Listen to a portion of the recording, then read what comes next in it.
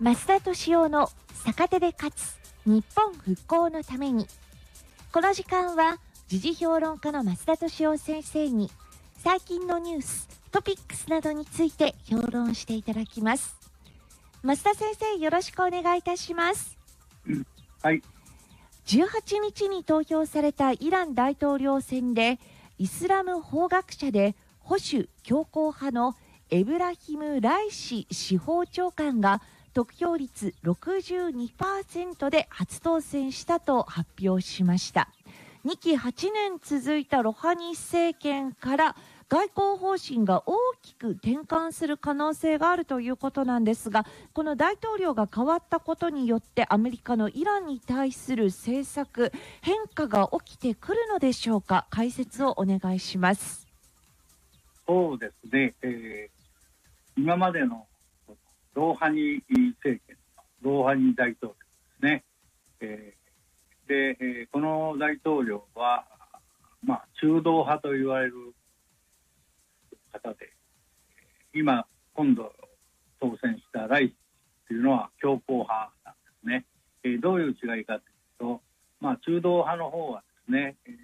ちょうど、まあ、今アメリカはバイデン政権なんですがその前はトランプ政権。そのまた前は オバマ政権だったんですがこの時今のバイデン大統領は副大統領で、その時オバマ政権の時にですね、このイランと6カ国協議という6カ国合意ですね、アメリカ、その他ですね。アメリカそれから、まあ、安全保障常任理事国が全部名前を揃えてるんですが、まあ、アメリカイギリスフランス、えー、中国それからロシアと。これにですね、えー、ドイツが加わってそして、えー、まあ、6カ国ということで、この間に、イランと6カ国の間にですね、えー、核合意というのが、まあ、成立をしたということで、まあ、6カ国合意と言われるんですが、まあ、いろいろ濃縮ウランの製造制限してですね、えーまあ、平和利用はできる、まあ、発電とかですね、えー、その他平和利用には使えるけれども、まあ、核弾頭を製造するためにはとても使えないというそういうギリギリの線までですね濃縮ウランの製造を制限すると。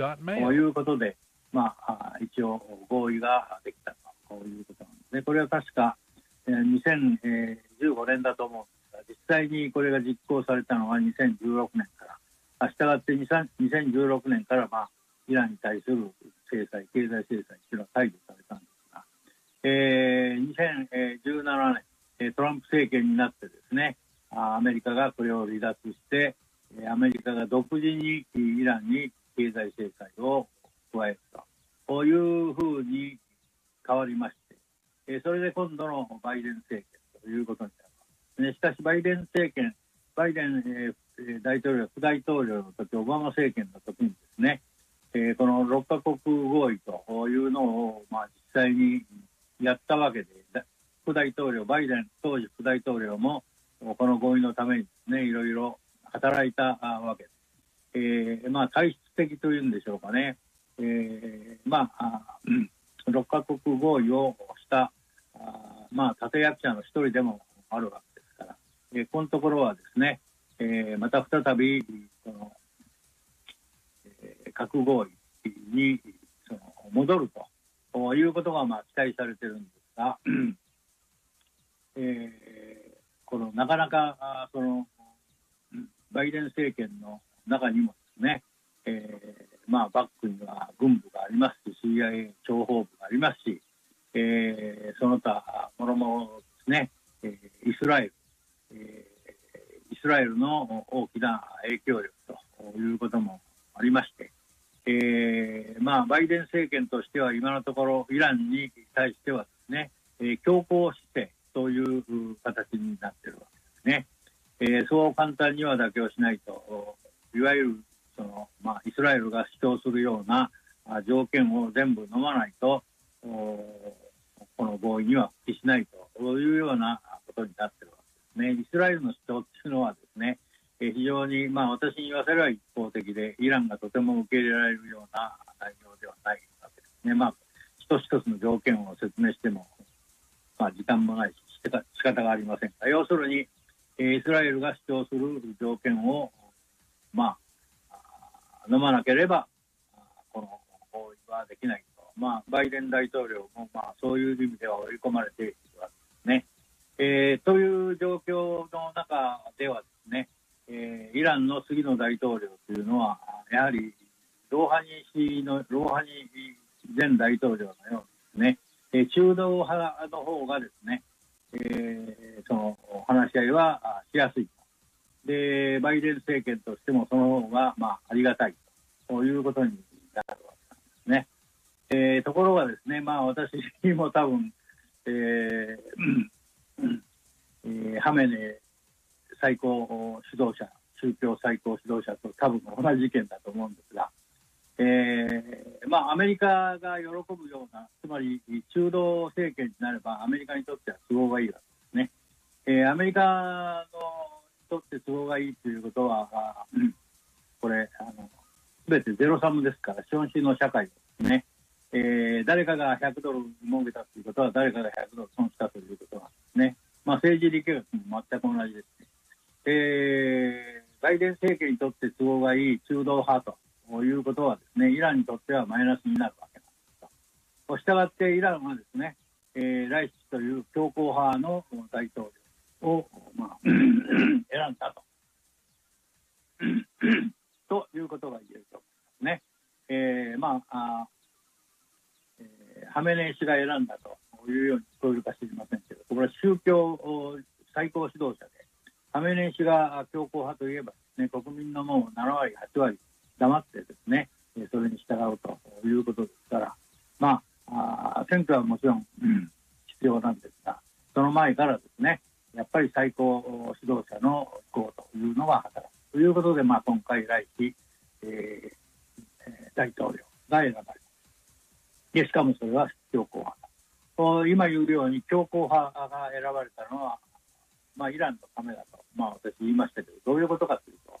今、アメリカがですね、えー、アメリカがこの集中的に外交的、軍事的、えー、経済的、あらゆる面でですね、えー、対抗しているのは中国なんですよ。まあ、米中冷戦というふうに言われるように、アメリカは今、中国と戦ってるわ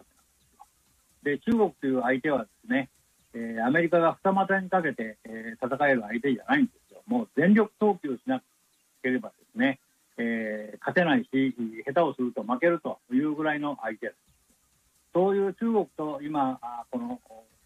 あらゆる意味で戦っているさなかにですね、イランと戦うなんていうことはですね、え、許されることではないわけなんですよ。だからアメリカにしてみたらもうさっさとこういうイランとの関係は片付けてですね、中国に集中しなきゃいけないっていうのがアメリカの立場。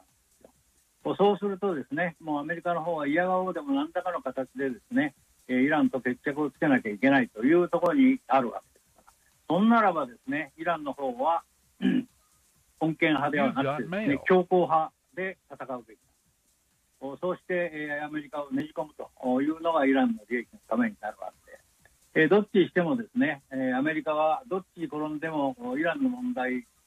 いつまでもいつまでもイランとの対立をですね続けることはできないんです。そんなことをしたらですね、えー、中国に遅れを取ってですね、習近平、えー、主席がニコニコ笑って喜ぶだけなんです。だから、ここはもうアメリカが実は追い込まれてるわけですね。そこをすかさずですね、えー、強硬派の大統領を送り込むというのはですね、やはりこの ハメイニ最高指導者というのは相当のあ政治力学を身につけたですね、えー、指導者だということがね。えー、まあ、どこの論評を見てもですね、えー、イランは一日も早くアメリカと決着して経済制裁を解いて経済を再建することが必要だとそのためには穏健派が選ばれたということは望ましい穏健派じゃなくて強硬派が選ばれたことはイランにとってもアメリカにとってもいいことではないという論評がまあ圧倒的ですが私は正反対で、え、アメリカの弱みをつけ込んでですねえ、強硬派を送り込むということ、そして、え、アメリカはどっちにしてもイランと戦ってなんかいられない、目の先の敵は中国で、これに没頭しなきゃ、専念しなきゃいけない、二股にかけてですね戦うことはアメリカは今、許されない、そこをついてきた決断だというふうに見て増田先生、ありがとうございます。はい